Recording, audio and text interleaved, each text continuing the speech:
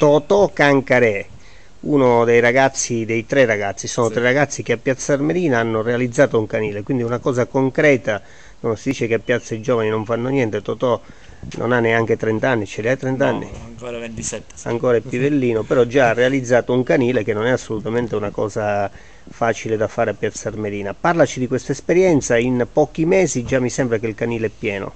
Sì, è stata un'esperienza bellissima nonostante grossa- le grosse problematiche inerenti alla burocrazia.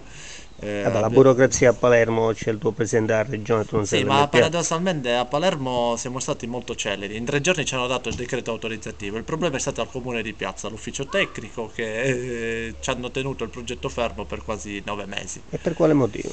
E per problematiche inerenti all'area identificata, No, perché C'erano dei, dei motivi, insomma, l'ufficio tecnico c'è gente di buona volontà o sbaglio? Ma eh, diamola per buona questa affermazione. Diciamo dico che praticamente c'erano di- diverse difezioni nel piano regolatore perché hanno identificato una sola particella eh, in tutta Piazza Armerina dove poter eh, realizzare questo tipo di struttura. Senti, parliamo del canile, come siamo combinati allora? Da quanti mesi siete aperti? Noi siamo aperti formalmente dal, primo, dal, formalmente dal 23 dicembre, realisticamente subito dopo l'Epifania, il 7 gennaio. E quanti cani avete? Ora abbiamo 45 cani in struttura dei comuni di Centuripe, eh, Niscemi e Piazza Armerina. E quindi di Piazza Armenia fate voi il servizio adesso al comune di No, Piazza? noi non facciamo, noi facciamo, a noi hanno semplicemente dato dei servizi extra in urgenza eh, tramite delle ordinanze del sindaco, ma il servizio di gestione ordinaria ancora è con la ditta di Caltanissette. E, mm, senti, questi cani che gironzolano ancora in città? Questi cani randaggi? Eh, questi cani Nel- randaggi- nelle ultime settimane, insomma, ne sono stati uccisi la media di uno al giorno. E praticamente, giustamente, la- il, le- il problema non è tanto avere la struttura, perché la struttura può essere d'aiuto al momento in cui è inserito in un contesto di piano antirandaggismo, anche perché noi, grazie alla struttura, riusciamo a fare adottare dei cani, dei cuccioli che sono stati, diciamo, dico, preparati a vivere in famiglia, come anche dei cani che devono essere, soprattutto quelli randaggi, devono essere abituati per poter eh, ritornare nel- nella città, nella città attraverso dico, dei percorsi specifici. Ad esempio un cane deve essere abituato a camminare al guinzaglio, deve saper stare a casa, non deve essere mordace, deve essere disinfettato e igienizzato, quindi soprattutto i cani in randaggi sono soggetti a molte malattie veneri. Senti, ma se una famiglia ha un cane lo vuole portare nel canile, ve lo vuole dare, ve lo può fare oppure no? No, praticamente noi essendo che siamo una struttura per custodia eh, di randaggi, eh, prevalentemente lavoriamo con le amministrazioni comunali. Eh, funziona che uno fa, se trova un cane a randaggio pericoloso di solito, fa la denuncia ai vigili urbani, i vigili urbani poi chiamano noi. Eh, questo nel regime ordinario delle cose, quando si ha una convenzione con una ditta che fa questo tipo di servizio. In questo momento noi lavoriamo semplicemente con le ordinanze del sindaco, abbiamo un'ordinanza per prendere 10 cani pericolosi, di cui ne abbiamo presi 6 già, ora gli altri 4 li abbiamo già identificati, che sono cani che creano problemi al... Eh, mi pare che alla Villetta ci sono diversi cani nella zona di Altacura, vicino all'ostello del Borgo, se vuoi venire, ce ne sono due, eh, Purtroppo devo dire che dico, va fatto un plauso al comandante dei vigili urbani con cui abbiamo in sinergia abbiamo attuato queste azioni nell'immediato.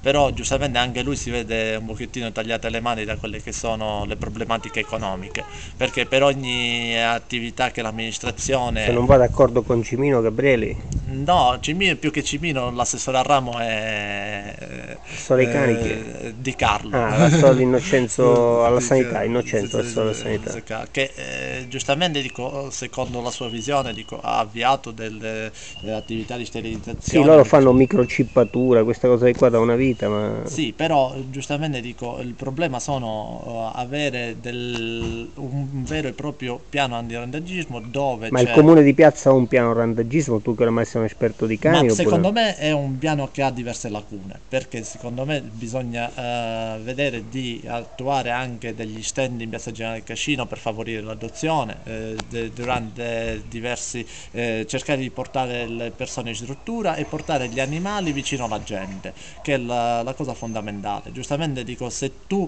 eh, non conosci il cane nella sua forma e nella sua interezza, te lo prenderesti come animale a casa, perché oggi c'è la canofobia diciamo, utilizziamo questo termine improprio, che è quello che quando si vedono i cani si vede semplicemente un pericolo eh, sociale.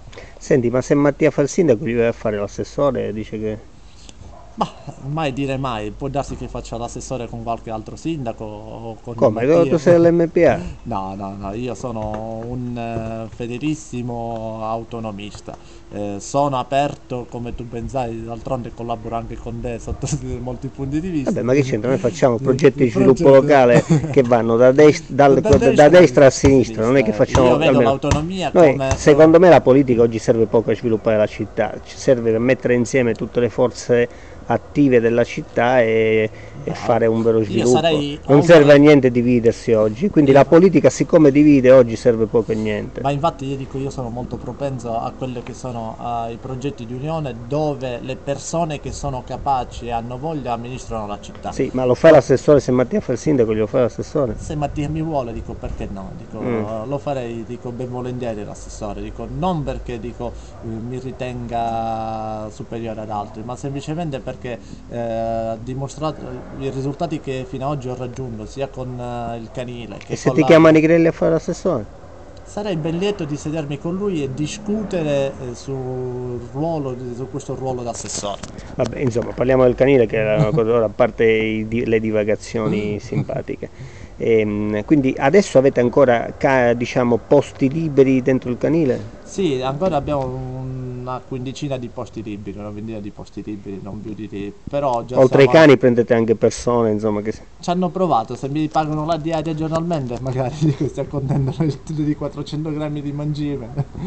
Va bene. Potremmo togliere qualche Qualche scazzacane. qualche scazzacane. Va bene, ti ringrazio Totò, grazie per questa esperienza del canile che è veramente interessante. Si è parlato tantissimo per Sarmenia di un canile, critiche, controcritiche, poi alla fine l'abbiamo fatto, quindi plauso a chi fa le cose e non a chi critica. Ciao www.agostinosella.it Totò Cancare. dell'Avis, presidente dell'Avis. No, io qua localmente... Sì, ma quante cose fai? Tu da un lato con la- sei dell'Avis, dall'altro Allora, lato io c'hai i cani. praticamente- Sì, e giustamente dico, quando oh, dici le cose, noi dobbiamo, siamo nella politica del fare, no Agostino? Bravo. Dico, poche parole e molte fatti. Eh, prima dico, mi, dicevo, mi piaceva spuntare sui giornali e fare gli articoli, ora invece mi piace molto di più lavorare e fare parlare i fatti. Oggi eh, eh, ho la fortuna di rappresentare due delle realtà più attive e più operative del territorio di Piazza Armerina, uno sotto un punto di vista sanitario, l'altro dal punto di vista eh, economico eh, dico, e sociale. Uno è il canile, uno è l'Avist. Eh, sono realtà che sono spuntate dal nulla, nel senso che dico sono potenziate e dico questo significa che se un giovane vuole non si deve abbattere davanti alle problematiche, deve portare avanti i, propri obiettivi. Bravo Totò, sei un esempio per tutti i ragazzi di Piazza Armerina. Ciao.